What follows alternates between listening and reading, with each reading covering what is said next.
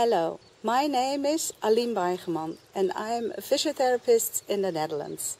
I just took part in the heart center therapy by Alaya Chikly and it's overwhelming to see which possibilities uh, I will have to help my patients and to support them in getting well in clinical situations. I think I'm going to do quite a lot with the, the techniques I learned here.